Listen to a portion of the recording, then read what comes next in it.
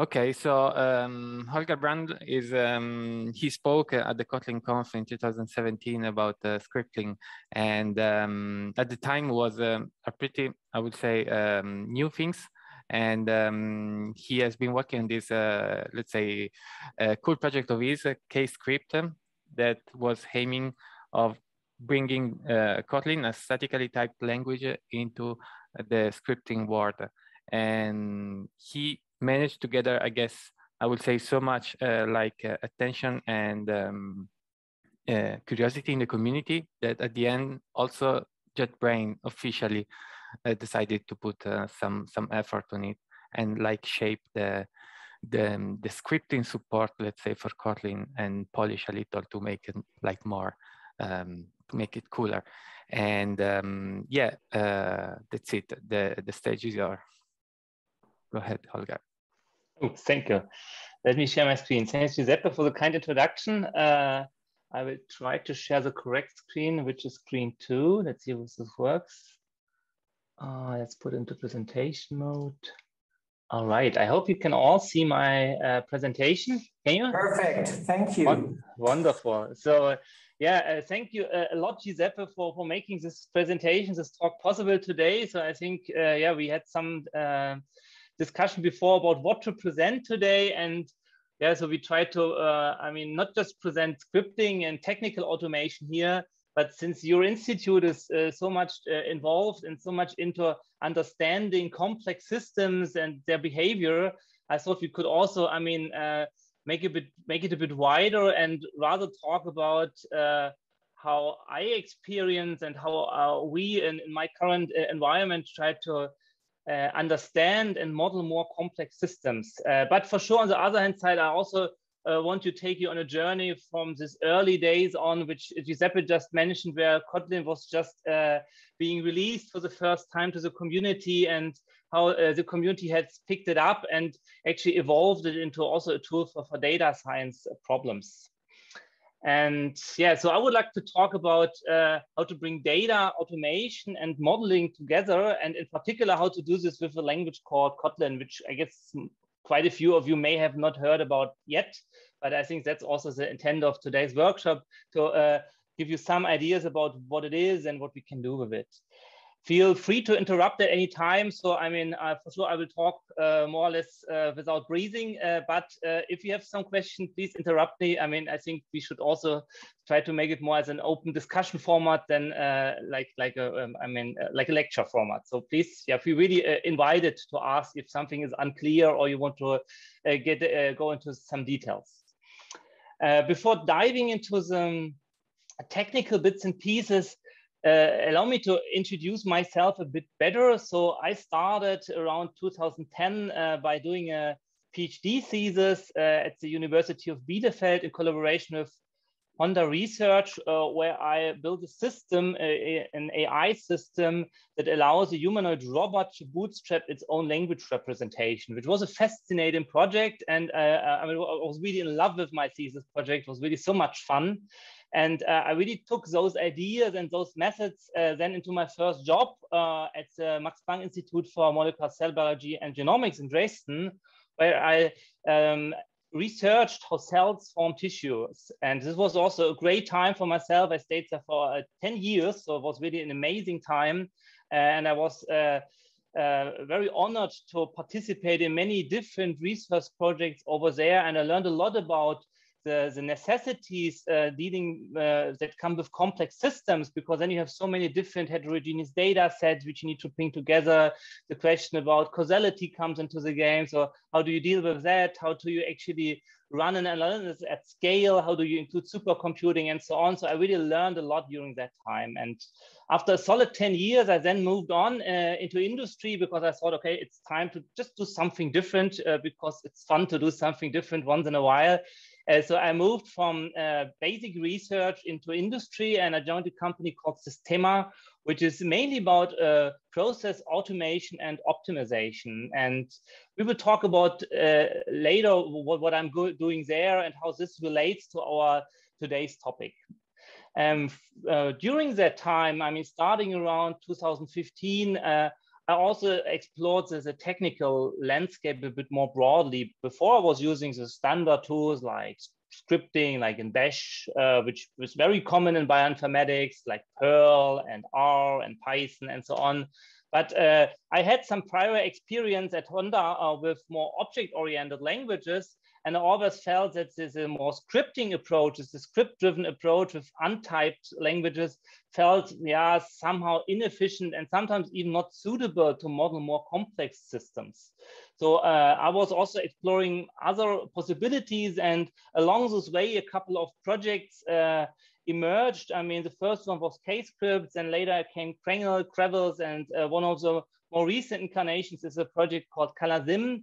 And uh, I did other stuff on GitHub, but I, I mainly want to focus on those four today in this presentation. So let's start by diving into uh, late 2015 uh, when uh, a new programming language was released, was called Kotlin, and uh, it has evolved greatly since then. So I just grabbed this screenshot from the website uh, a couple of days ago. So it defines itself, uh, okay, that's a bit marketing heavy, but it defines itself as a modern programming language that makes developers happier. It at least makes me happier. I don't know about the rest of the world, but I think what's more important here is that it's a, a language which, which is designed to be multi-platform. So it doesn't compile against a single interpreter or runtime, but it's actually designed in a way and it ships with different compiler backends. So you can compile it into native code if you really want to go uh, close to the bare metal. You can compile it into JavaScript. You can compile it into bytecode. So there's different ways to compile it and it's very popular to for Android application development, but also for, for front end and server side development. And uh, I'm actually not so much into Android. I mean, I have a mobile for sure, but I don't do any application development. And I also don't do much on the server. But what I mostly cared about when I heard about the language is um, can I actually use it to do more data sciencey things? Uh, and so I looked through the feature list, which was promoted at the time in February 2016. And there were so many exciting things here, which I liked from the start, like it, it shipped with type inference, extension functions, uh, very nice constructs to define data classes. It was really designed with DSL design in mind. Uh, had default parameters, had some scripting support, and it really also solved some of the the, um, uh, the, the, the, problems which I saw with regular data science tooling, for instance, dependency management, I still I think it's still a pain. I mean, you have these pip environments or conda environments, but they are not as evolved as a Gradle file, like the, the, way you define dependencies in Java. So I think there's a huge difference in convenience when you compare how dependencies are managed in different languages. And what I also liked in comparison to more traditional data science tool uh, languages was the scaling approach because it's a statically, statically typed language. I can scale more complex uh, domain models much easier compared to a scripting uh, approach. Like if I don't know about types, I think it becomes really hard to go beyond a certain scale uh, uh, when designing or when building a system. What I also loved about it is it's very teachable. So I did some quite some data science teaching uh, um, at the different institutes I was working and so I've, I've not just taught computer scientists, but uh, I teach biologists, chemists, physicists, and uh, so I think I have some idea at least what what uh, the what, what an audience can ingest through uh, within a one or two day workshop. And I think Kotlin is actually the potential to be also teach to non-technical audiences. And what I also loved in particular was its ability to uh, enable rapid prototyping. So from a language perspective, it really looked promising. So I thought, okay, it's uh, from a technical perspective, it's all there, but can we can we do data science with it? And so I looked into the common process. Uh, unfortunately, I didn't find the source for the figure. Please excuse that. So there should be some source here, but yeah, I couldn't. I didn't manage to find it. But uh, the important bit here is the process. So the data science lifecycle, I think, independent of the business domain, it's uh, always coming to a couple of elements. So first, we need to get into our data into the system. We need to clean it up, tidy it, transform it, model and visualize it. And at the end, we need to communicate our findings. And in Python and R, there's some highly evolved uh, set of libraries this allows, uh, which allows to do so. But on the JVM and Kotlin in particular, at the time when I was starting to deal with it, there was barely nothing. And so I thought, okay, let's try it nevertheless because the language looks so cool. And I wanted to throw in small bits and pieces just to get started. So I thought, okay, I do lots of bioinformatics at the time. So can I replace some of my bash scripts, for instance, with, with Kotlin? Because yeah, I know bash, but it always was sometimes a bit tricky. So I thought, oh, let's give it a try. But unfortunately at the time, the scripting component in the language was not so evolved. So I created a small program. Uh, it was a bash script at the beginning, and later on, uh, it was rewritten into a Kotlin script itself that extended scripting support for Kotlin. It came up with some features like it did some caching, did internal dependency resolution, had some declarative way to de uh, declare dependencies, came with some configurability and some, some additional tooling to make uh, life a bit easier. And for sure, I could imagine there's some hardcore techies beyond uh, in, in the audience today which will ask the question, why on earth is he using something like Kotlin for scripting? Don't we have Bash? And I want to quote the unknown colleague here, uh, it's Bash is faster and way shorter. So let's just do it in Bash. And I actually also did so. So I also managed to do magical things in the terminal without anything like like Kotlin. So here's one of my masterpieces of my uh, last career at the CBG in Dresden. So there was a great research project together with Marta Florio and many other great colleagues, where I was uh, doing some bioinformatics. It was a, it was a wonderful project. We researched uh, uh the, the human genome to really find those genes that enable humans to grow a bigger and a folded brain. And within this project, uh, I had to deal with so-called sequencing data. And uh, in order to do so, I've written this small masterpiece called remove multimappers, which is a bash function. And I mean, it's very short. It's just three lines. You can see it stream. It allows to stream data through it. It worked well. It managed, uh, I mean, it supported uh, the paper. So we managed to publish the whole thing in science. But uh, in retrospect, uh, I'm not really proud of it because it falls short in many regards. I mean, it was kind of fast to write because it was a one-liner, but it's almost impossible and to maintain and to evolve. And to be honest, I have no freaking idea what it does uh, after this couple of years. So I have no clue at all. So it does not scale. It's some, in my opinion, some unteachable black art. So uh, that's for sure not what I want because I'm, I now really feel sorry in retrospect that the colleagues at the CBG now have to live with this piece of legacy code, which is not fun and yeah, which probably they have to rewrite sooner or later. So what we, what I want, and I think uh, this is also shared by many uh, colleagues in the Kotlin community, is something more structured. And this is essentially what, what Kscript provides. So it provides uh, statically typed environment with full IDE and library support. So the way it works, just to give you a brief example, is you declare as in a bash script, the scripting interpreter at the top. Uh, we say, okay, bin env, please use kscript to interpret the script. Then we can declare any uh, Maven central dependency. So we can really consume everything which is out there in the JVM ecosystem, which is a lot. And then we can simply start doing some scripting and we get full uh, IDE support. And as you can see by using libraries here, we don't rely on uh, standard in and standard out processing, can, but, but we can really use structured parsers and types to deal with the data. And clearly, this is something which is way more uh, maintainable compared to the bash solution we've seen before. And yeah, this was a, a, a, vague idea at the beginning uh, when when I started this project, but actually quite some people liked it. And uh, the first one or two years, I was doing most of the development, but since then I actually haven't written a single line of code because it's all coming from the community. So there's actually people still out there. Uh, uh I mean, thinking about um, ways to improve Kscript. And uh, all I'm doing at the moment is aligning the PRs and doing some, some release once in a while. And it has grown into some nice interpreter, I think. So there's different ways to ingest the script. So they can come from URLs, from some local pipe, from files, from the terminal itself. There's uh, quite a, a different ways to configure the scripts and their runtime behavior. It comes with some support API to mimic sed, grep, and, uh, um, and Perl-like uh, abilities. You can uh, also quickly get a wrapper. You can bootstrap an IDE environment just from a script. You can even, uh, I never thought of this in the beginning, but this was also just co contributed from the community. You can deploy scripts as standard standalone binaries, and you can even embed kscript uh, the installer of kscript into a script itself and so on and so on. So it has been quite a journey. And if you want to read more about it, yeah, I've uh, inlined some some links here. I will also for sure, um, I, I missed uh, to um, um, point this out at the beginning. I for sure will also share the presentation afterwards on GitHub, I guess. So if you want, you can also look this up later. Uh, so yeah, so there are more references in case you have questions about kscript. And with kscript, I, I think I had the first puzzle piece for myself to uh, use Kotlin and to use the structured approach to scripting uh, to really support maintenance and to uh, about support better engineering to, uh, to use this in my daily work. But clearly it wasn't doing anything about data or data science.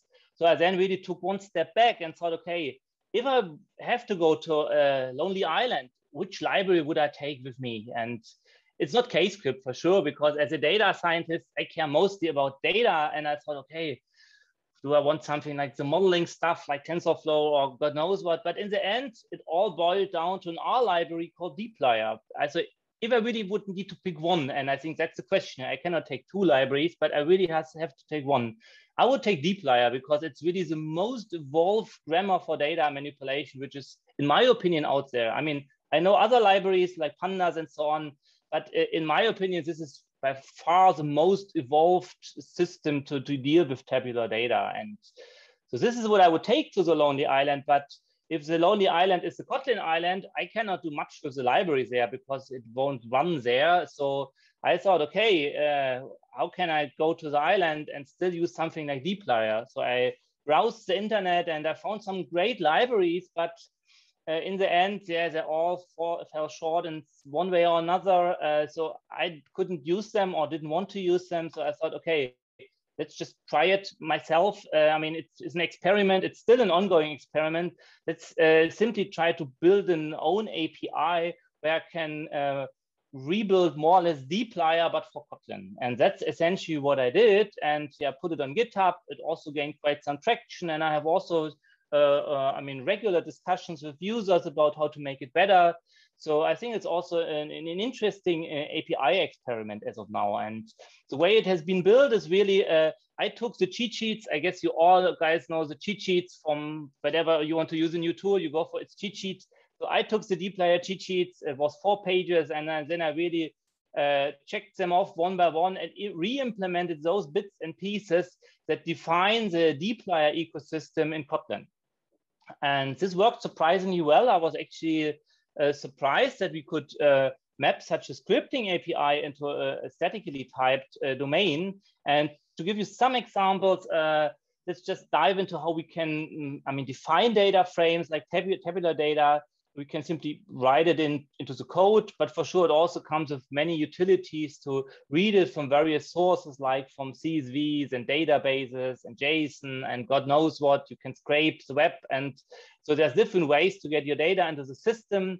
And uh, more importantly, it then really implements the entire dplyr uh, syntax to manipulate, aggregate uh, data. So here's an example where we have flights data. We can group those flights by date. Then we can select a couple of parameters using some support API to support ranges, regex, negative, positive selection, and, and quite a few more. And with this reduced data, we can then summarize um, uh, the, the data uh, by calculating the mean uh, arrival uh, delay and the mean departure delay.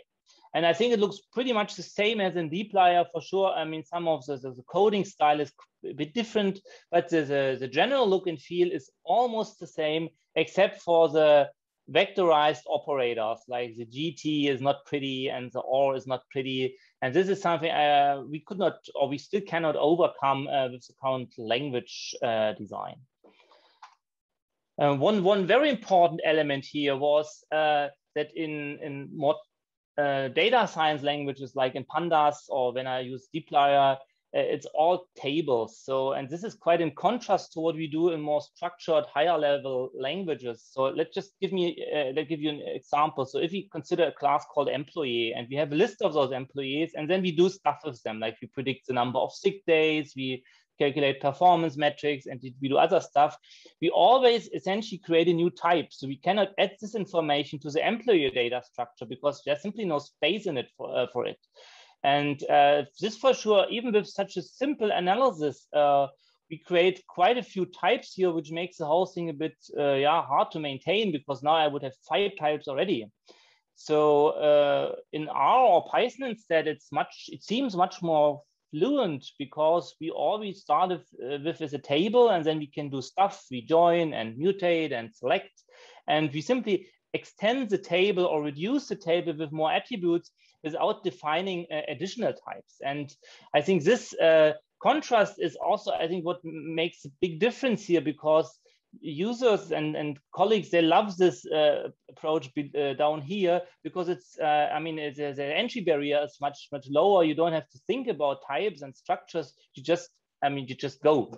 And uh, to support a similar experience, uh, uh, we then added type support for for um, krangl, so this, this data table library in Kotlin, so that the user can now mix structured and unstructured data in a table. So just to give you an example, we could consider this employee table where we have in one column actually an object, an employee object. In another one, we could even have a more complex structure like a list of sales. And uh, for sure, we also will have more and more basic attributes like the salary as a double and the address and so on. And the, the beauty uh, of the, the API, uh, which we have now, is that we can arbitrarily go back and forth between this object-oriented uh, um, representation and this table representation. So there's a method called asDataFrame in the library, which uh, is defined for every iterable. So whenever you have a collection of something, you can say, please give me a data frame. And you can also go way uh, the other way. So if you have a, a data table, you can also reparse it into a, um, a structured, a list of structured objects. And with this, uh, I think we really build a beautiful bridge between this object-oriented domain and the more uh, table-shaped um, domain, which uh, is very common and very useful and uh, often the best approach when dealing with data.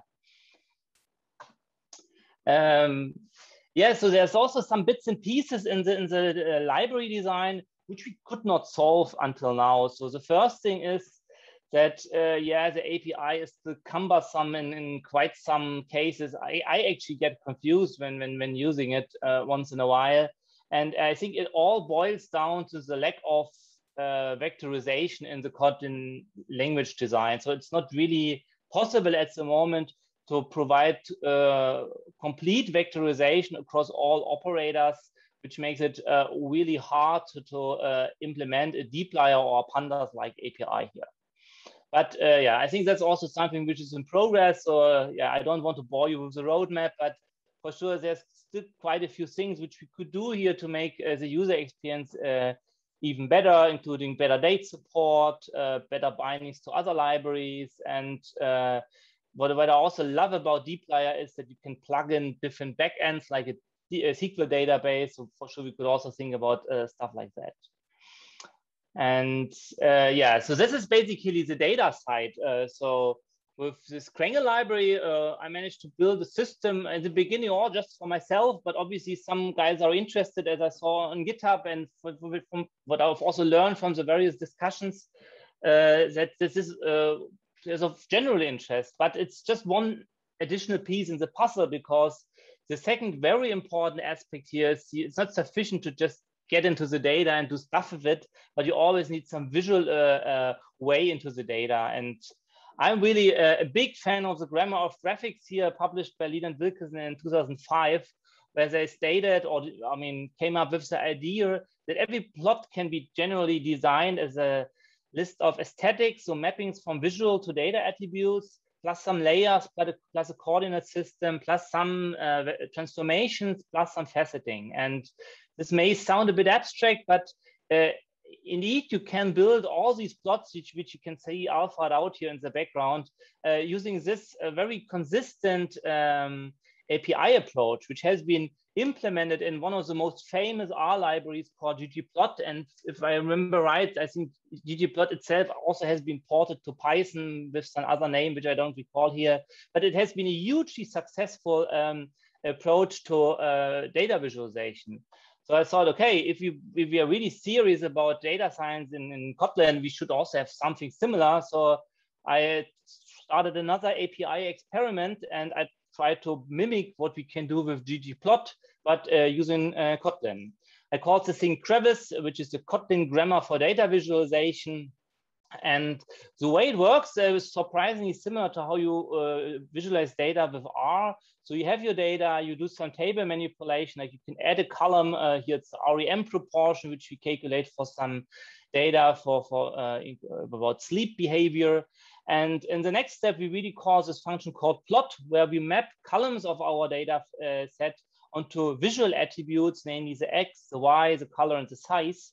And then we define what uh, geometries we want to uh, put in here. We configure the plot uh, by uh, defining the, the, the, way the guide is shown and also to, to, add some title. And with just this tiny bit uh, piece of code, we can build a, very interesting visualization that uh, correlates the REM proportion to the sleep total time. Uh, and uh, also details out the food preference of the individual species being analyzed here. So this looked very promising to me. And we also took it, sorry, one step further and explored if you can use not just this tabular approach for data visualization here, but if you could do the same thing, but using uh, a strongly typed API. And in fact, it's also possible. So if you would consider our sleep patterns to be a list of structured objects, we can do more or less the same thing the only difference is here that uh, when mapping visual to data attributes, we use uh, so-called, um, I mean, I think it's some kind of method reference uh, to indicate uh, what to visualize on what axis. And this, yeah, worked surprisingly well. So I really like it. I still use it. Uh, and uh, the underlying architecture, I think that's yeah, the only messy part because what we do here uh, is, uh, in fact, we take, we build a Kotlin API and under the hood, we map it into a ggplot R call. We run R to build the visualization, which we then present to the user via different um, backends. And this works. I mean, we can also externalize R if we want. We can Dockerize it. So there's different backends to support this uh, architecture. But for sure, it's not really pretty because you always rely on R being installed on the on the user system, which is not always the case. So since uh, I've started to work on kravis, uh, other members of the Kotlin community stepped in and created another library, which is called Let's Plot, or it's not Plots, but Plot, sorry for the typo uh, which is, I think, a more modern alternative because it really removes the annoying dependency on R and it, uh, it, chips with some alternative rendering engine. I don't know its technical internal details, but it's something which is more Kotlin native. So there's no uh, native binary dependencies here. Uh, and I think, yeah, it's, it's evolving greatly. I think compared compared to kravis, it has some more limited uh, support for geometries and customizability, but it's really picking uh, up up uh, quickly. So I think this is really great to see uh, the, the, the, ecosystem to emerge so well here. All right, I think it's always good to bring in some cute animals uh, because if with all this code, I think, yeah, the audience gets bored quickly. So let's just look for 10 minutes now at this lovely cat, but we can also short, uh, shorten it to 10 seconds. It's a lovely cat. And it's not just a cat because it's always good to show cute cats in presentations, but because I want to actually walk together with you through small analysis or where uh, I have analyzed mammalian sleep patterns using the machinery which uh, I've just discussed. So let's uh, uh, open it. And here it comes. Um, so it's a Jupyter notebook, uh, will also be in the show notes later on. And I guess most of you guys know Jupyter. It's some uh, web-based uh, um, framework to explore or to build data science workflows. Probably there's a better definition, but uh, that's essentially what you do. You have your browser window and then you can interactively build uh, a workout and analysis. And with the, the tooling which we have just discussed, we can now do this in, in Kotlin as well. So here we have the some kind of introductory documentation. And then what we do is we pull in a dependency. So we say, okay, we want to use krangl, which is this table library Uh, so we simply pull it in and we can also use this let's plot library, uh, which we can also pull in. Then we can have some description here about blah, blah, blah, what we want to do. And then we dive right into the data and we are looking into a data set called mammalian sleep data here, which is one of the famous teaching data sets in, in, in, data science, I think. So it's 83 records where we have different species, including their sleep behavior. So we know how long they sleep, how long they dream, uh, how long they are awake, their brain weights, their body weights, we know their order and their food preference. And we also know uh, some uh, taxonomy uh, information about how these uh, species are organized. And with this data, we want to, uh, I mean, we want to analyze those data to really understand how the different species differ from each other and whether there are some common trends and patterns. So what we can do with the API now, we can simply as we can do in R and Python, we can simply get an idea about uh, some of the rows without showing everything. We can uh, peek into the schema to see what types and what columns we have and to, to see some examples for each attribute. And then we can uh, use uh, some, some dplyr pandas-like operations to add new columns. Here we calculate the REM proportions, so the proportion of sleeping time where the animals are sleeping. And uh, yeah, then we can uh, look into that. We can then start to visualize this. I mean, if you just say, take the data and plot it, there's nothing because, uh, yeah, uh, according to the grammar of graphics definition, we did not add any layer. So we can do so. We can say, let's map uh, some of the attributes to the X, one other one to the Y, and then we do a, a correlation analysis to see uh, how those uh, attributes are correlated. And as we can see here, there's no striking correlation pattern between those two attributes. We can then refine this plot and uh, map further attributes to our data. For instance, we could bring in the, the food preference to see whether the food preference uh, in this correlation plot allows us to get some more insight. And here already we see some pattern like the herbivore. Uh, they uh, tend to sleep the least uh, um, compared to the rest of the population. And by doing so, we can really work our way into the library. And it's, as I said, because of this grammar of graphics approach, it's a very consistent user experience when it comes to building visualizations. So if you want to build a histogram, it's exactly the same process we map some of the data attributes onto visual attributes, and then we declare what type of geometry we want to use here. We can use the same pattern to also uh, compare distributions, like here we do a box plot, and we can also layer this. So we could, can put stuff on top of the box plot. This doesn't look so pretty yet because all the points are aligned on the on the on this axis, so it's a bit over plotted, but we can jitter them a bit artificially. And then we can nicely already see how the different um, uh, subpopulations uh, compare to each other. And we also see that the box plot is potentially not the best tool here because like in the insectly, we have very few data points. So the box plot gives kind of a false impression of what's what's going on uh, in, the, in the distribution here. And yeah, with this approach, we can then really work uh, our way through the data and really understand what's going on and uh, in case we struggle with one of those libraries, what we can also always do, let's jump uh, ahead a bit. We can uh, also bring in another library, like here I can pull in this kravis library, which we have just discussed, and use some methods and tooling which is available only there, and just re, uh, use the same data, but in a slightly different way. And we can then also do some uh, basic modeling uh, where we try to fit some regression model through our data and so on and so on. So to recap this uh, small analysis, uh, what we have now is an ecosystem where we can bring data conveniently into a, a very data scientist friendly environment, which is the Jupyter um, environment. And then we can use this API to analyze and to visualize data. And let's, let's jump back to the presentation. Um, so so uh, for sure, there's a lot of a lot of more things to tell here, and I've tried to compile a couple of pointers uh, on this intermediate uh, summary. So uh, for sure, there's a wonderful page on the kotlinlang.org page, uh, which gives you tons of uh, pointers into the, the ecosystem itself. you could also follow up on Quenya. There's a 10 minutes tutorial, also, also some tutorial about data manipulation. There's also quite some cool talks. The most recent one by Roman Belov uh, in the last Kotlin Conf in 2019. And the most active, and I think also the, the best place to start in case you have questions or you want to do something, is usually the Kotlin uh, Slack channel. So there's multiple channels, the data science and the science channel.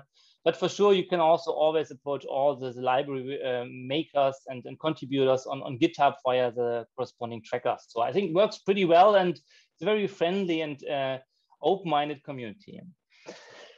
The question for sure now for me is, uh, is uh, so have you really exploited the platform to its full extent? So is this all we can do with Kotlin or can we potentially do better or can we actually do something which we could not do in R or Python?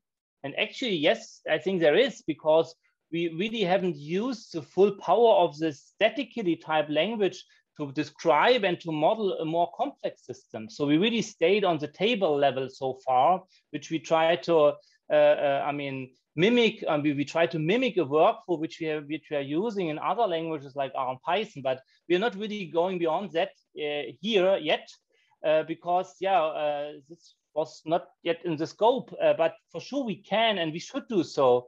And in particular, if uh, problems uh, grow more challenging, I think we also need something more structured. And luckily, in my current position, I have uh, lots of these very complex problems. So as I said in the beginning, I've joined a company called Systema, where we deal uh, in particular with digital transformation and smart manufacturing. And I personally spend a huge chunk of my time uh, uh, supporting our customers to optimize their manufacturing processes. And we define optimization here really as, as the art of maximizing manufacturing efficiency, throughput, OEE, yield, and quality. And it's a complex process because it all starts with uh, digitalization, monitoring, and then we need to analyze what's going on to then iteratively refine the process to make it better. And uh, this is a challenging uh, domain because manufacturing uh, has many different actors that contribute to the process. So we have the equipment, like the tools on the shop floor. We have the processes and their definitions, which are also dynamic to quite some extent. We have the people on the shop floor and in management and in logistics. We have the material, which has changing properties in time, and always changing environment. And for sure, we also have the management. So there's this very complex interplay of human, machine, and material and methods. And it's not always following intuition. And as you can imagine, I think pretty well, we cannot map this into a table. So I think there's a regular approach in data science where, where I have a couple of tables and then I try to derive some insights from it.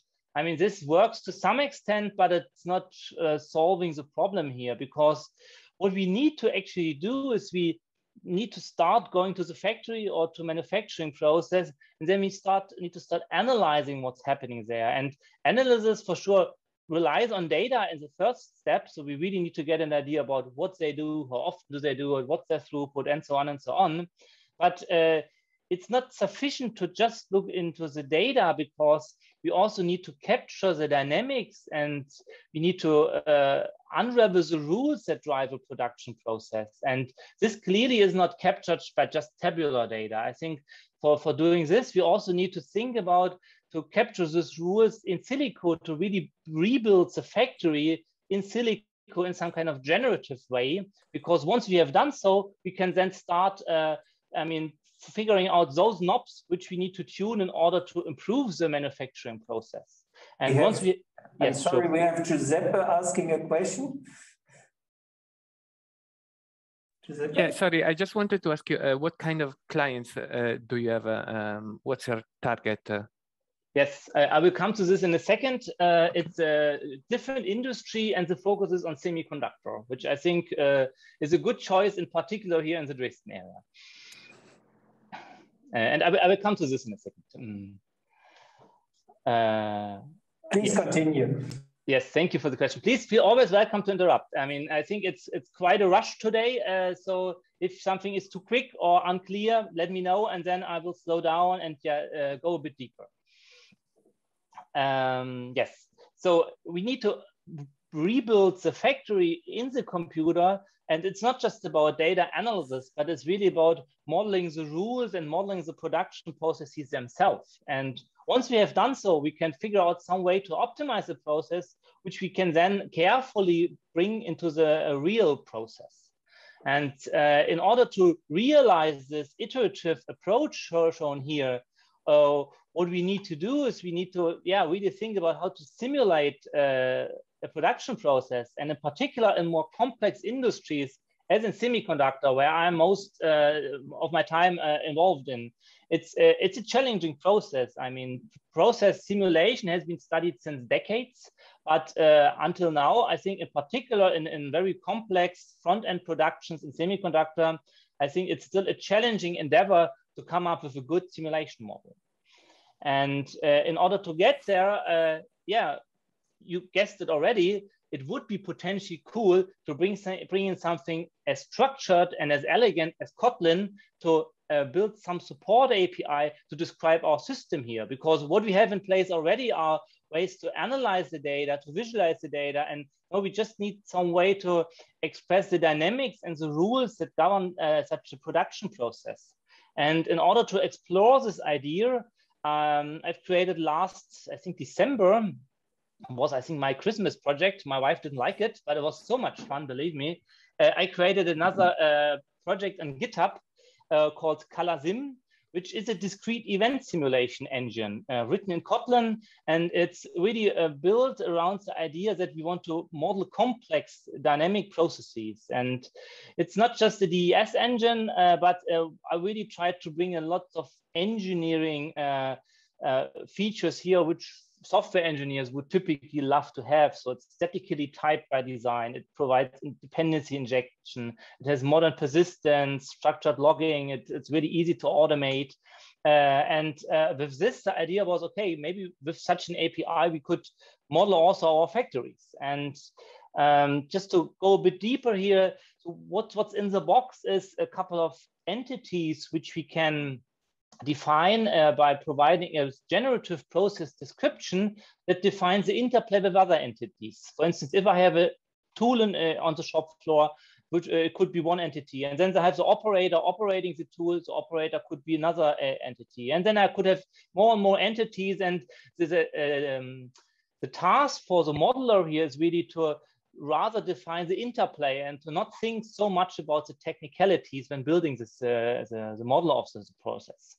And this interplay can uh, have different shapes and flavors. So there's a rich vocabulary, including uh, hold, request, and wait, and passivation, which are well-known concepts in discrete event uh, simulation frameworks. And the core of the system is a so-called event trigger queue, which maintains future actions and really drives simulation progress. And um, to, to put, put a bit more meat on the subject, uh, let me show you a first example how we can build a process simulation here, which uh, where we introduce also the key types. So there's actually just three different types of, of entities in, a, in a, even a complex simulation. So there's a so-called component, which is uh, an entity which has a life cycle definition. So there's some kind of process definition associated to it.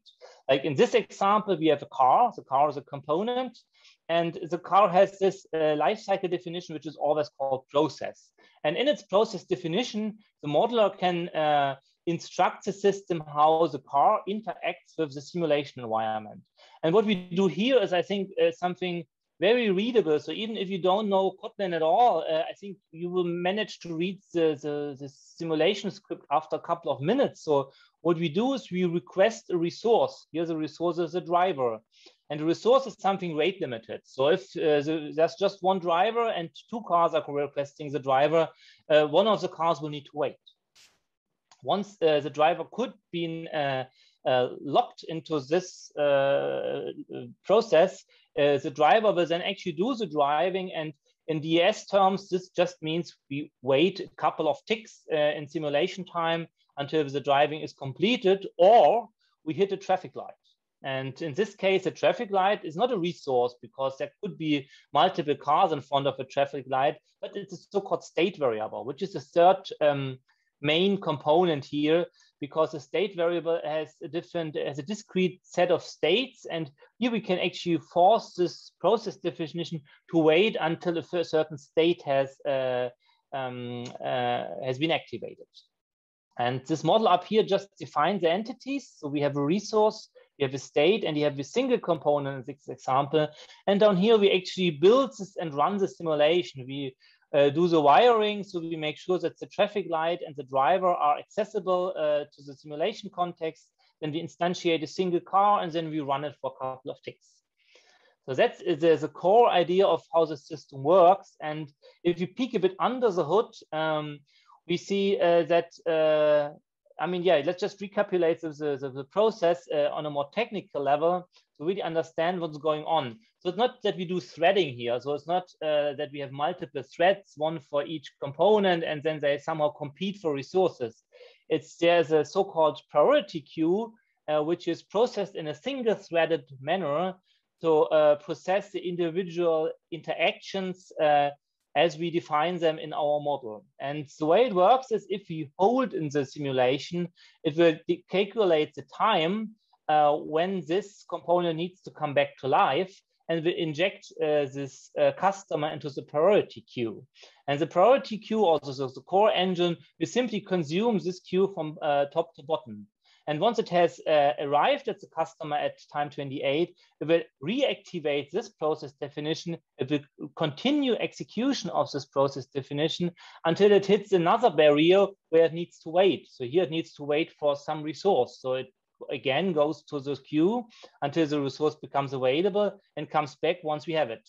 And uh, that's essentially how you write a simulation model here. And to be honest, uh, I still find it kind of magical that it works. And please don't ask me about how it technically works, because as you see here by these small icons, it's using something which is baked deeply into the Kotlin platform, which is called suspendable coroutines. So you can write functions that are suspendable by design. And somehow Kotlin takes care of it to interrupt execution, do something else, and then come back without doing multiple threads. So I find it amazing, but I'm actually not so much a technician that I could explain you the, the, the underpinning framework so well, but it works. So there's a, a, a I mean, extensive suite of tests. So we are using it in, in various projects. And uh, I still find it pretty amazing that we can stop execution, put it somewhere and come back later on when the time has come. So I, I really like the concept. And I hope you agree that it makes it very easy to write down a process definition because we really just have to think about uh, our real world process and map it to these three elements. You need to map it into components with life cycles to states and to resources. And with this, we can build uh, rather complex simulation models, but you still may ask the questions, why on earth did he create another DES engine? I guess uh, you at Casus, you know simulation because it's also, I guess, in, in, to some extent in your work, an important tool to describe system behavior. And there's quite a few uh, frameworks already out there which are well maintained, where there's really friendly communities around them. Like there's Simmer, there's Salabim, SimJulia, SimPy, these all, just to name a few. And for sure, there's also commercial vendors like AnyLogic, Simio, uh, just to name a few. But uh, in, in my experience, they still fall short because they're either dynamically typed, so you cannot really scale your system description.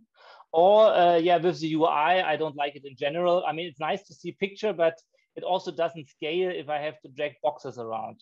So that was was really was motivating uh, myself to come up with a novel approach here to uh, to, to, to, do DES, uh, where we use Python, where we really use this uh, Kotlin really as an integration, as an interface between different teams. Because if I just live in my data science bubble, I really struggle to my, with my software colleagues and the, the, the, data engineers. So by using a common interface here, we can also much easier interact and embed our solutions into higher level architectures. And does it work? Uh, so uh, unfortunately, I cannot share most the most exciting things we do because yeah, we do it for customers. I don't want to see it in public, but yes, it works. So we can actually model semiconductor processes and also other processes very efficiently, also at scale. We can uh, reproduce sensible dynamics. So here you see a schedule of a small fab. We can uh, get uh, kind of realistic. Uh, I mean, for sure we have to design it, but we get realistic. Uh, um, trajectories and all the key metrics which we are analyzing. We get good uh, WIP maps. But I think, yeah, it's really on a good track here. uh, clearly, I don't want to dive with you into the semiconductor pro, uh, semiconductor uh, production process today, but I thought uh, I've talked for so long, it's time to get some real good food together with you. And uh, it's not just you and me to get some food, good food, but I thought we should also invite some additional colleagues here. So let's have some food with some great philosophers, if you don't mind. And it's in one of the examples which we prepared for kalasim it's uh, you can also find it in the repository and uh, let's just dive into the use case. So what's what's the problem here which we want to model and which we want to simulate? So let's uh, um, assume that we have a small table with four philosophers and yeah, there's four forks and uh, typically these philosophers will think and then they will get hungry. They will pick up a fork and uh, they are not able to eat with one fork. So they must wait until the fork uh, on the other side also becomes available. And once they have access to both forks, then they can start eating for a while until uh, yeah, their stomach is uh, filled again. They will put down both of the forks and then they will start thinking again. So that's the use case. And the question is, how can we actually um, model this uh, in a simulation system um, yeah, so here we have the process definition again. So we, they spend random time on thinking, they take one fork, uh, after some legs, they take the other fork and uh, then they eat. And afterwards, they put down both of the forks. And how would we could then model such a system with the kalasim API? And let's just look at the, the um, repo documentation and I will walk you through it. But afterwards, let's just do it interactively. I think this should really also uh, be a good opportunity where we can do some live coding together if you want to, uh, where we will then interactively uh, refine this example. So how does it work? So we need to define the entities in our model. And clearly we have these philosophers and we have the forks. So the forks are rate limited, so they're resources. And actually we need one resource between each pair of um, uh, philosophers. So what we need to define is a fork as a resource, and we need the philosopher as a component in the simulation with some exponentially distributed thinking and eating times. And then we need a process definition. So until eternity, because they are philosophers, they will first do some thinking, exponentially, exponentially distributed, and then they will pick a fork. And by design, they will always pick the left fork. They will take a breath, and then they will uh, pick the right uh, fork. And clearly, since the fork might be in use, we use this resource model here. So we request from the engine the left fork, which may be unavailable at the beginning. So maybe the philosopher has to wait until this, his uh, left fork becomes available. We will then do the eating once we have both of them. Uh, we can log out some events. Um, and this is essentially the domain model of this uh, simulation. And now we need to run it. And how can we actually run it? We uh, create a simulation context. Uh, uh, then we inst instantiate a list of philosophers, here Socrates, Pythagoras, Plato, and Aristotle. And then we can build the forks and we simply make sure that there's uh, one fork in between uh, each pair of them. And once we have uh, created all the forks and the philosophers, uh, we can place the forks uh, between the philosophers and run the simulation for a while. That's essentially the simulation process. And uh, I hope you agree, but I think this also what I would love to discuss with you that this is a rather convenient to way to write uh, system behavior to really model um, in this case not so complex system but nevertheless a complex enough system to uh, uh, so that it's not trivial at all um, so that's essentially the process and later on for sure we may want to analyze the simulation so we could pull out some data and uh, then try to build some uh, visualization. And for sure it's a bit dull to do this here in the uh, in the to just read about that in the documentation. So i really want to do this now interactively with you. So let's just uh, do that. So um, unless you have some immediate question. If if i may just um, this is also one advantages of kotlin being like a, a functional programming languages where you can pass easily and pretty intuitive like uh, lambdas um, inside um, inside as a parameter inside uh, other functions. Yes, yes, that's true. but uh, you have any question or this was just a comment, Giuseppe? Mm. Oh, you were muted, but it seemed like you don't have a question. Just a comment, uh, because the these requests uh, will be executed uh, later on when available, right? Yes, yes, uh, yes. We will. We actually will do it right now. So what I want to do now is I started Jupyter kernel uh, to walk you actually through the example. And uh, so there's this dedicated kernel for for Kotlin, which I can. Oops, now it's To went away so quickly. So there's a dedicated kernel which you can simply specify when spinning up Jupyter. And so uh, to uh, yeah, I mean speed up the process so that if we don't get bored, I uh, prepared a workbook uh, like a notebook, but we can evolve it and we will, will, evolve it to make it a bit more useful. So how does it work? Because before in the first uh, mammalian sleep pattern example, we just had a table and then we load, loaded it and we visualized it. Here it's something entirely different. So what we do here is um, we can uh, load the kalasim library. So that's all we do. And it takes some seconds. So now it will, I mean, basically warm up its environment. And once this little star has disappeared, yeah, it's all uh, there. And since we are using a, uh, um, Kotlin, we have to do the imports, but I think that's also very common in other languages, like in Python, we would do it, in R, we would do it in a similar way. So we import what we are going to need, and then we do exactly what we just said. We define our simulation entities. So we say we want to use a resource, and we want to, we need this uh, philosophers. Every philosopher has a left and a right fork, and then we exactly have the same process as before. And now we really create our entity definitions live. And I think that's already beautiful because now we can also mess uh, around with it. Like if we change our mind and we think, okay, the logging should be a bit different, we can simply reiterate this in an interactive, rapid prototyping way. And yeah, so now we have everything we need for the, the domain model, and now we can run it. And so let's just walk through what, what's happening here. I think there's one uh, confusing bit maybe. It's called trace collector. Uh, if you include the trace collector, it will uh, keep a log of all the events that happen during the simulation. It's just the means to do uh, analysis. It's not strictly necessary for running it, but uh, it simplifies the downstream analysis as we will see. Um, and then we do what we just discussed. So once we have the simulation context, we can define a couple of philosophers. It doesn't need to be four, it could actually be more. Excuse me, Holger, it's my, yes. uh, probably better if you increase the size because it won't be visible on the recording at all. Oh, so, so sorry. That's good. Good idea to enlarge yes, it. Sorry. Thank you so much more. for the comment. Is it better like this? Um, yes, yes, much better. Oh yeah, thank you for the comment. I'm sitting in front of my 4K screen. For me, it's not a problem, but yes, I, I know how it is with remote sessions and the font being way too tiny. Uh, uh, yes, I hope we don't have to start again. So, so we define the entities um, as we just discussed them before.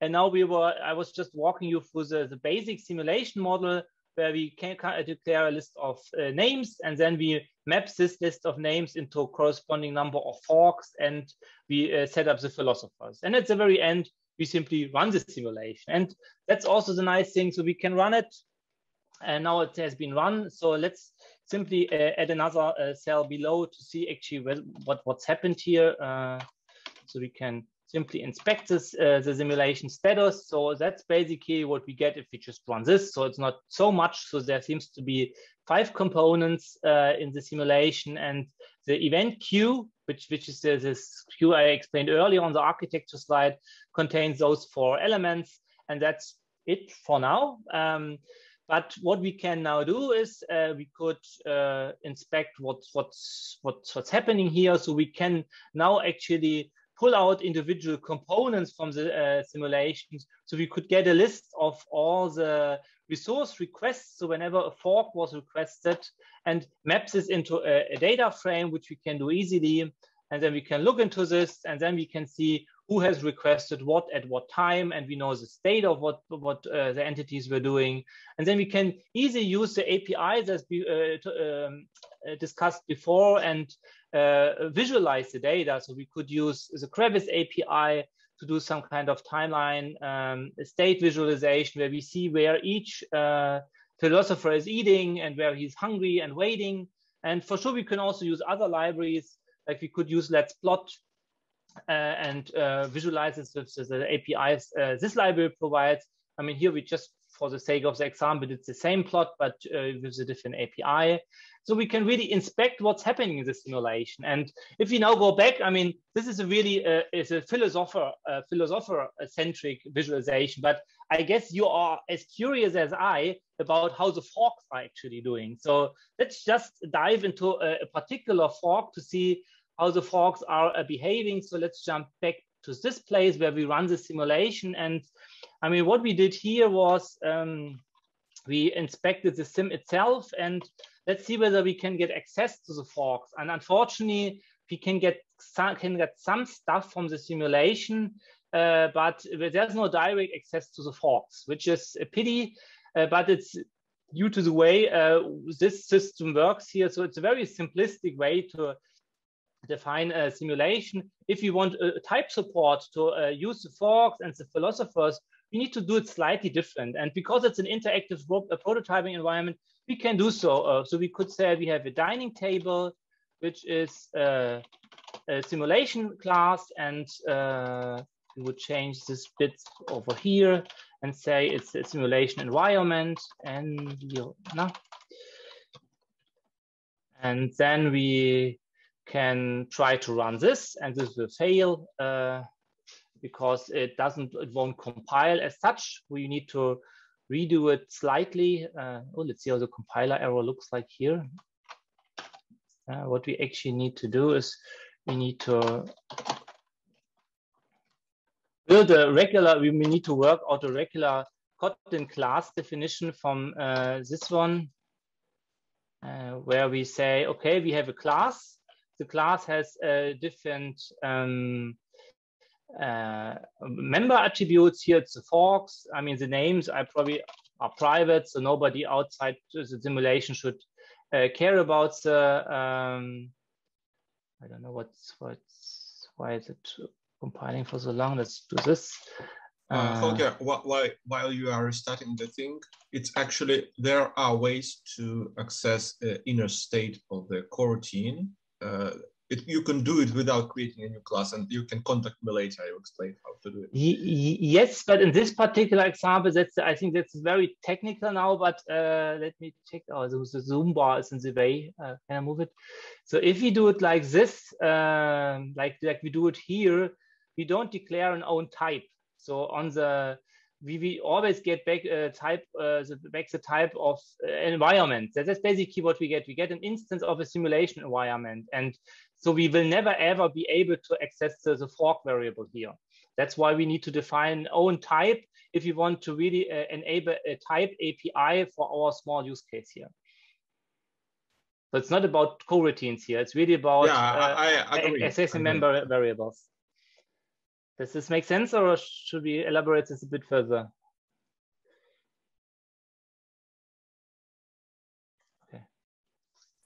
So uh, you cannot you cannot access from within uh, the simulation. Oh, uh, we will be, we will be able to do so in a second. I'm I am just reworking it. So there's a way it's done here. Here we essentially just create an instance of type environment, and then we do some bits within the environment, but we don't declare our own type. So that's why we cannot access forks later on when having a handler to this uh, sim um, um, variable. And now I'm just reworking it to make it better typed. Uh, and we can simply do so by uh, declaring an own simulation type called dining table, where we then have regular class variables like the forks, and if we wanted to, also the philosophers. And uh, with this, we can then um, access, as you can see in a second, uh, can then access the, uh, the uh, so, oh yes, we haven't instantiated it. So now we need to declare it. So we have a dining table. We can build a dining table. And now let's see what we get from the dining table. Now you can see something uh, uh, which I wanted to show here. So the Jupyter kernel now provides us completion for the variables within our simulation. And that's essentially what, what I wanted to achieve here. So I slightly refactored the uh, the very basic uh, simulation into a more structured one. So we defined an own uh, simulation type called dining table, which we can instantiate. We can now get access to the forks and the forks, uh, as we just learned, let's just look into the forks. There's four of them.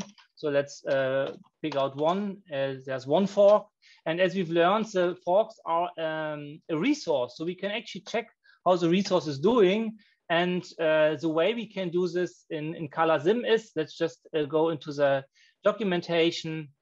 If we have a resource, uh, there is a so-called uh, monitor associated to it, which we can inspect. Uh, and for sure, we may want to visualize this. And there are different backends, and we can use the, let's plot this uh, backend here in our example to visualize um, the state. So let's import this and then we can display it and then we can see what we get. And this doesn't work. Why is it not showing it?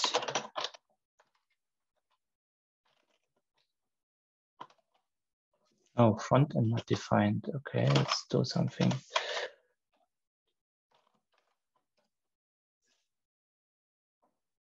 Ah, okay. Maybe I have to say use, uh, use.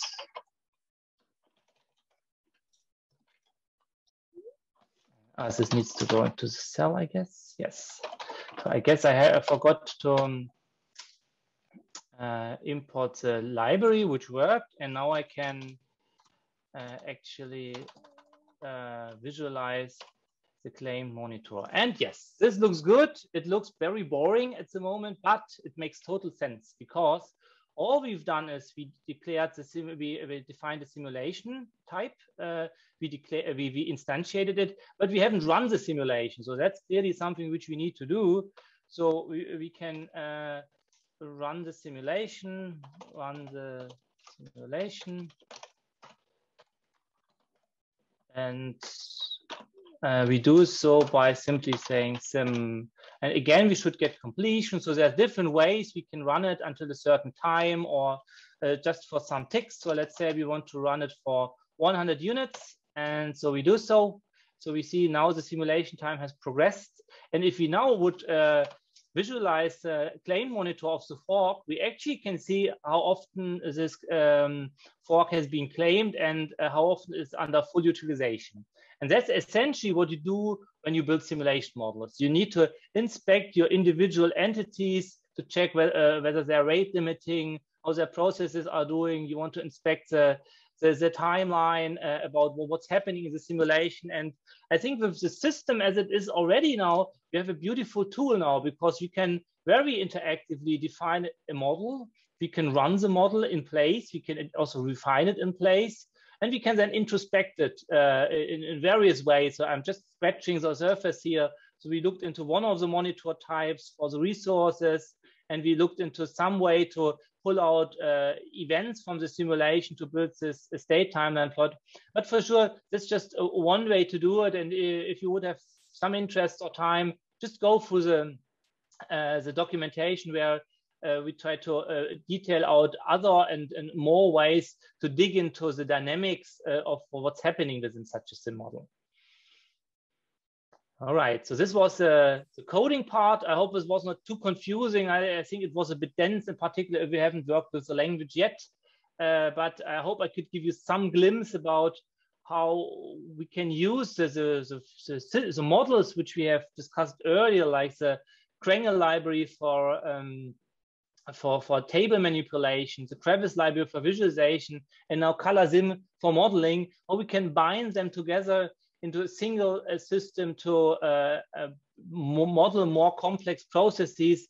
I mean, and for sure, this is made up example. I mostly spend my time uh, with uh, modeling manufacturing processes, but I think it's a generic framework, so we could basically model whatever we like. And in the repo, you also find other examples from epidemiology and uh, also more classical scheduling examples if you're interested in. So yeah, um, it's it's all on GitHub uh, if you have some time and some some interest here. All right, uh, last thing I wanted to do before we close this uh, example. May, uh, may, I ask just a question? Sure, um, please. Is the simulation always uh, like reproducible or deterministic? Also, if it's run on other system, on other Yes. Say, yeah. Def okay. Definitely. Yes, uh, it is unless you start using the uh, the Kotlin or the JVM random generation, which is not. Yeah. I mean, you have to seed it, but uh, the, the, simulation comes with some tooling. Like if you do this exponential, there's also other distributions. This is bound to the simulation context, and this is fully mm. deterministic. Yes. Okay. Which is a very important uh, thing because if if you go uh, for this complex, uh, let's say if you go to into this factory simulation, yeah. I very often want to trace individual events and to understand why they are happening. And without determinism in the simulation model, this would be impossible. It's a nightmare. Yeah. It's a nightmare. No, no, it's fully deterministic. Mm.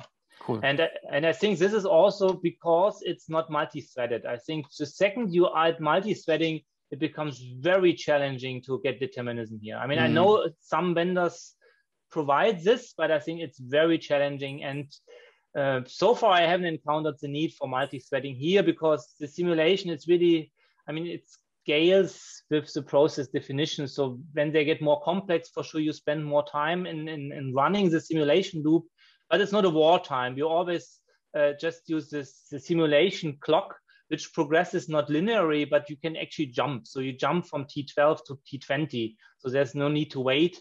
So you can actually build rather complex simulations before you uh, before the simulation consumes actual mm. wartime. So even with more complex factory simulations, like when I simulate a year or two, uh, like with hundreds of tools and thousands of lots uh, traversing complex routes, it takes a couple of seconds at max to build to work out the simulation. Totally acceptable. Mm. Yeah, I wanted yeah. to say that uh, we are not working on the discrete simulation. We are working on uh, continuous simulation, which take much more time.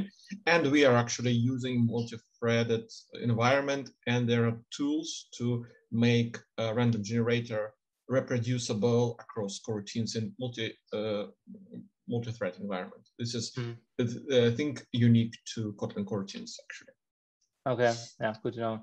Yeah, as I said, at the moment, I didn't see the need to go multi-threaded here because if it scales to a semi-fab uh, and I can do a one year of a semi-fab in a couple of seconds, uh, yeah, for me, that there's no use case at the moment to, to scale it better or to use throw in more engineering to allow for even a, a bigger scale.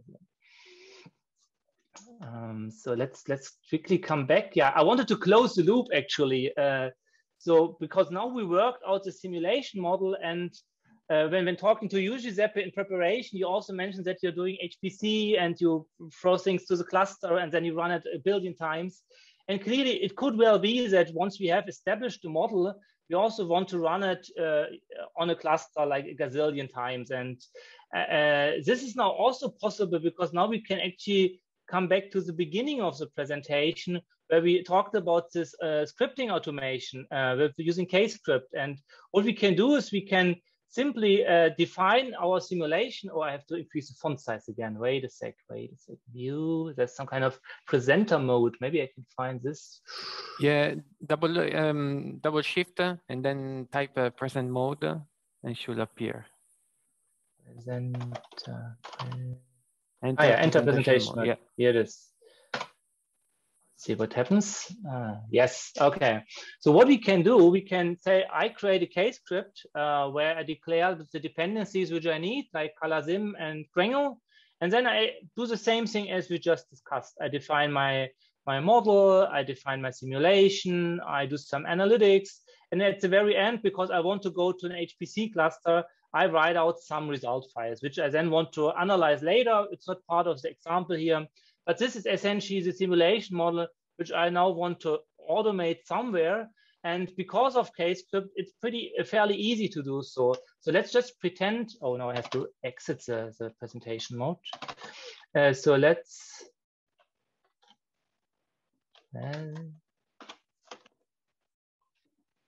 ah, So let's pretend that uh, we are happy with our simulation model. And now we want to, uh, we, we send it to colleague. Uh, so this script we send to colleague and now he wants to run it. So we go into a virtual machine, which I have just prepared uh, in advance. So it's, it's a different computer, it's uh, um, a Linux machine, or I have to also work on the UI so that you can see it from remote. Wait a sec, I can do that. Settings. I think there's some kind of scale parameter. We can see fine. Uh, oh, but uh, I just want to make sure that you can read the fonts. Uh, scale. You can increase the resolution, maybe. Yes, yes, there's this. Uh, no, it's UI, I think. No, no, there's there's a UI. Uh, UI. What is it called? I thought it's called scale. You can do this under the monitors um, tab. Monitors, or. Appearance, appearance. Yeah, yeah. Where, where, do you see the screens? Displays, maybe this. Yeah, here it is. So I can scale to 200%. That's what I want to do. Yes, I hope it's much better now, isn't it? Yeah. Um, beautiful. So what I did, I've prepared the script and we sent it to a colleague. And uh, so the colleague uh, is on an HPC cluster, for instance, and uh, let's speed up the process a bit. So the colleague has deposited uh, the script, which I just showed you uh, and uh, in, in the local file system, and then he can open it. He has no clue about whatsoever Kotlin is. But let's pretend that he has installed or she has installed kscript on his machine. And then what we can do now is we can, uh, because we can also flag it as an executable file, we can simply uh, run it. And because now it will use kscript as an interpreter, we resolve all dependencies, run the simulation, uh, write out the CSV file with the simulation metrics after some seconds. And uh, then uh, yeah, we are, we are good to go. So, and I think with this, we can uh, really also use this, this Kotlin scripting to really, yes, now you can see it's, it's running the simulation, it's increases a bit. So here's actually showing us a simulation log, which we can always do if you want to. So you can actually read about what's happening, who's requesting what, talking to what other entity. Then at the very end, uh, it has uh, written the sim CSV. So there should be some CSV file which is called dining. And now we could take this into Python, dplyr, or whatever we like um, in order to do some uh, follow-up analytics after we scaled out the simulation one. All right, and I hope with this uh, final example, I could also uh, illustrate how we can then uh, go back and use this automation capabilities to really bring this uh, combined uh, model, which includes some data science elements, but also some modeling elements into a coherent, reproducible workflow. And yeah, so that's basically wanted, wanted to show. Let's go back to the final summary and recap slides. So da, da, da. This. So yeah, so we talked now about the philosophers, uh, refined the uh, example, automated the process so that we could even put it on a cluster or wherever we want to, made it reproducible. So I think, yeah, we, uh, at least I hope you got some idea about uh, how we can model systems with this API here. And uh, so let's uh, sum up my presentation. So uh, for sure, it's a very personal view. So where is it going uh, with, with Kotlin in, in science? So I personally think it's an amazing language for modeling and prototyping. And there's also great new initiatives like there's Kotlin DL for, for deep learning. There's high dimensional arrays in Multik. And for me, my personal all-time favorite is for sure the Kotlin Jupyter kernel, which is really an amazing tool to, to do prototyping. And uh, by, by using these libraries, which we have discussed here, it becomes really very convenient and a lot of fun to do so. Um, in total, I still think that the tooling barrier is uh, a bit often a bit too high for, uh, let's say, regular data scientists. Uh, but it's very easy for developers. So I mean, when when teaching colleagues in house here at Systema, I think it's very streamlined to onboard them into the platform. But uh, I think in generally, uh, the, the data science community has been kind of slow adopting this new tooling because it's a bit more engineering heavy compared to Python or to, to R. But uh, on the other hand side, it's, it's very uh, close to the industry and, and, and big architectures and solution. And with this multi-platform approach of Kotlin and the huge JVM ecosystem, I think it's, uh, there are many opportunities to, to build very interesting solutions here. And yeah, so I want to uh, thank in particular uh, my company is Systema uh, for, for supporting this talk from their end today, where we make industry 4.0s with a lot of love. So we do different topics uh, covering integration, automation, optimization, visualization, and also some brownfield migration projects. And uh, as you probably have heard in the news, I mean, chips are a very rare product at the moment. So, and this means for us, we do very good business. Uh, and so for sure, this means we are hiring at the moment. So just in case your research contract runs out or could run out somewhere, uh, yeah, please come to us. So we do lots of different uh, projects, including process analysis, modeling. We do scheduling AI, which we haven't talked about today at all. Like we do lots of anomaly detection, reinforcement learning, regression type of analyses. There's also factory physics and industrial engineering, which is very important to us and our partners. And clearly the whole thing needs to be built with software. So we have lots of opportunities to build software in Java, Python, C Sharp, SQL, and more odd languages. And uh, clearly, since a lot of data is gathered in, in modern manufacturing environments, in particular in semiconductor, we also rely a lot on, on, big data tooling for Spark, Kafka, Elastic Cloud, and related BI stuff to, to work on these fascinating real world problems in, in different manufacturing industries. So, yeah, so my HR colleague asked me to mention that we offer permanent contracts, which we do. Uh, I have one, and uh, yes, you could get one as well. We also provide individual development plans, benefits, and it's not just permanent contracts. So we also love to work with students. So if you or some friend or colleague of you is looking for um, a thesis project or wants to become a work student, yeah, please also get in touch. All right, and that's from my side. Uh, thank you so much for uh, joining today. It was for me a great opportunity. I feel really honored uh, talking in front of you today. If you want to get in touch, uh, which uh, I would love, uh, please use email, um, GitHub, Twitter, or LinkedIn. Uh, but for sure, we can also use the local Dresden community uh, to provide some, uh, yeah, to have some beer um, somewhere soon. Thank you very much.